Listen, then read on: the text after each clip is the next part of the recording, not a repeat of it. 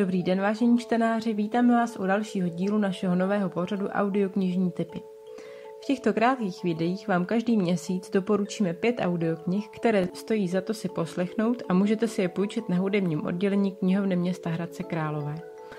Po každé bude zastřešovat nějaké společné téma, například stejný autor, žánr, třeba detektivky, historické romány, humor, stejný interpret, novinky a podobně.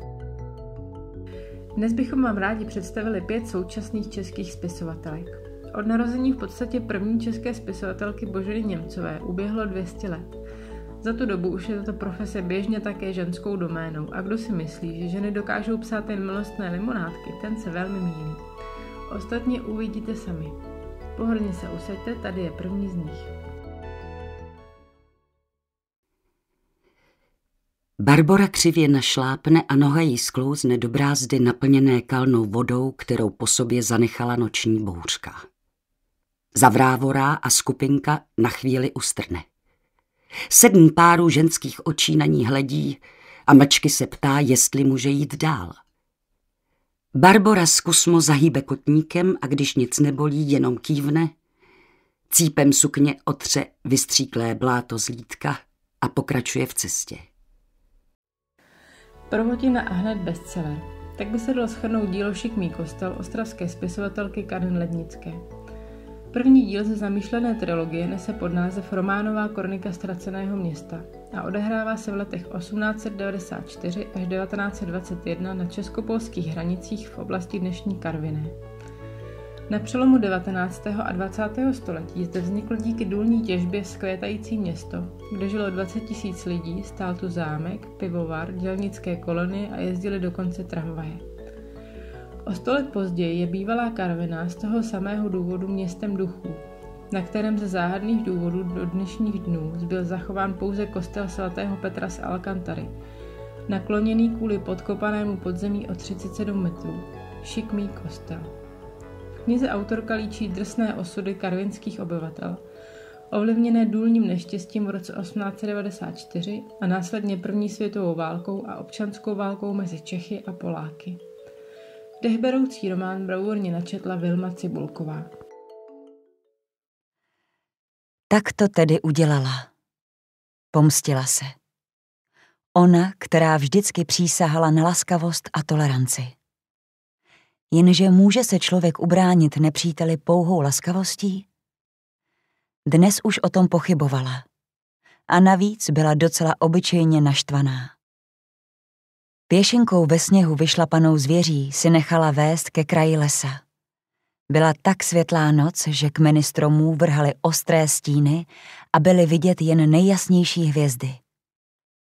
Pražská autorka Michála Klevisová bývá označována za královnu českých detektivek právem, neboť je také dvojnásobnou držitelkou ocenění nejlepší česká detektivka v letech 2008 a 2012. Její dílo je řazeno k anglickému stylu detektivek. V příběhu dochází k narušení řádu do té doby fungující komunity, který je potřeba znovu obnovit. Knihy jsou tedy kromě dvou zasazeny do dobře popsaného současného českého prostředí. Velký důraz je kladen na psychologické vykreslení postav. Sněžný měsíc je šestou knihou ze sedmidílné série. Jejímž posledním dílem je v loni vydaná kniha Drak spí. Detektivky na sebe ale přímo nenavazují, spojuje pouze postava pohodářského vyšetřovatele Josefa Bergmana. Dají se tedy číst i na přeskáčku. V našem příběhu se vraždy odehrávají v prostředí realitních makléřů. Jedna v malebných Beskydech, druhá v Praze. Na Bergmanovi nyní je, aby zjistil, jestli mezi nimi existuje nějaká souvislost a pátral mezi uzavřenými obyvateli horských samot, což je samo o sobě oříšek. Česká televize plánuje podle série natáčet seriál Kroky vraha. Začít by se mělo letos na jaře. Audioknihu Sněžný měsíc načetla Kristýna Kociánová. Pravda o mém muži. Mému muži Zdeňkovi. Prolog. Ale ano, jistě. Řeknu vám konečně pravdu. Pravdu o mém muži. Ale musíte respektovat několik mých podmínek. První je, že si odmyslíte moje jméno. Žádná televizní halina malina s opravdovými radami do života. Musíte nebo nemusíte, ale budete to pak mít fakt těžký. Se smířit s mým opravdovým, faktickým, nepopulárním jménem. Se jménem mojí duše. A moje pravé jméno zní Olesa. Nezaměňte s kolesy, prosím. Hakunděková. Tak to je hlavní věc. Jestliže máte Helenu Pavlovskou zafixovanou jako autorku píšící ve stylu lifestyleových časopisů, radících ženám jak na muže, zkuste si poslechnout audioknihu Pravda o mém muži. Je to autobiografický příběh manželství autorky, který začala psát po smrti svého muže, se kterým strávila celý život. V době, kdy byla nejvíc smutná, se snažila vybavit si časy, kdy byla nejvíc veselá. Její snahou bylo přitom sdělení, aby se ženy vážily svých mužů, protože nikdy nevíte, co vám život přinese. Pořád je to humorné, oddychové a sebeironické Halenino vyprávění, tentokrát ale také překvapivě otevřené a nevyhýbající se i bolestným okamžikům. Autorka knihu načetla sama, což ji přidává na autentičnosti a vy budete mít pocit, jako by svůj příběh životní lásky vyprávěla přímo vám. V našem fondu najdete také další audioknihy od Heleny Pavlovské. Dovnitř není pořádně vidět. Stoupá si na špičky, aby s nosíkem přilepeným na sklo nahlédla za záclonu zavěšenou z půlky okna. Mezi bohatými hlavicemi pelargonií, které se jindy kývají vyvěšené ven a dnes jsou z nepochopitelného důvodu uvězněné za skleněnými tabulkami, je tma. Ale ta tam bývá skoro vždycky. Malými okénky proniká do domu světlo jen za jasného dne. Román brněnské spisovatelky Kateřiny Tučkové Žítkovské bohyně je dalším dnešním příběhem inspirovaným skutečnými událostmi. Vypráví o ženách obdařených výjimečnými léčitelskými schopnostmi, žijících od nepaměti vysoko v kopcích Bílých Karpat na moravsko-slovenském pomezí. Říkalo se jim bohyně a své umění si předávali z generace na generaci. Dokázali si poradit s lidskou záští, honem na čarodějnice i střídajícími se politickými uspořádáními, ale komunistický režim je svým pronásledováním dokázal udolat. Je konec 90. let 20. století a etnografka Dora objeví v archivu STB složku vedenou na svoji tetu Surmenu, jednu ze žítkovských bohyň. Pouští se do pátrání a rozplétání jejich osudů a zároveň poznává jejich dědictví, které v sobě nosí i ona. Skvělou knihu, která obdržela mnoho ocenění, stala se nejčtenější knihou v knihovnách v roce 2013 a byla přeložena do 12 jazyků, načetli Tereza Bebarová a Miroslav Táborský.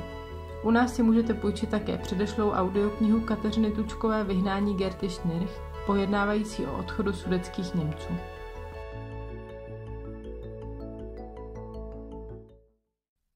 Nikdy jsem nepochopila, proč dospělí dětem tvrdí, že se vyplácí být hodný a poslušný. Kdybych byla vzorná dcera, bylo by dnes moje jméno vytesané na náhrobním kameni jako jména maminčiných rodičů. Babičky Elzy a dědečka Ervina, kteří umřeli dávno před mým narozením, nebo babičky Ludmily a dědy Mojmíra, u jejichž hrobu jsme s maminkou pokaždé rozsvěceli svíčky v hnědých kelímcích, přestože jsme museli přejít až na horní konec hřbitova.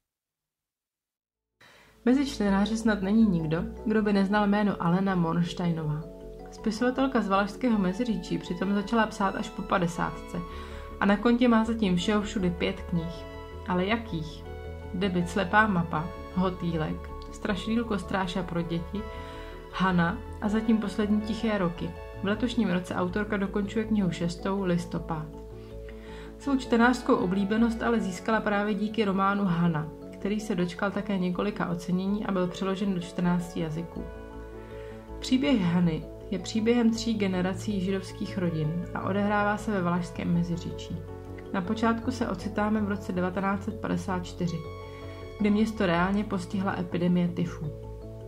Ta malou Miru připoutá k podivné tetě Haně a odhalí celou pohnutou rodinnou historii, protchnutou vinou, nenávistí, láskou, zbabilostí, ale i nadějí. Mrazivý román, který přečtete nebo si poslechnete jedním dechem a zanechá vás hluboký dojem ještě na dlouhou dobu. To je Hana. Knihu načetli Tereza Dočkalová a Lenka Vlasáková. Tak to byly naše audiotypy na tento měsíc pro vás. Doufám, že vás zaujaly a inspirovaly k poslouchání. Objednat k vyzvednutí u okýnka nebo rezervovat se u nás můžete hned teď. Návod na hledání v katalogu vidíte v závěru videa. Příští měsíc pro vás připravujeme tipy na audioknížky s tématikou cestování a života v cizích zemích, abychom se v dnešní podivné době dostali aspoň imaginárně za hranice našich měst a okresů. Mějte se dobře a u příštích audiotypů naslyšenou.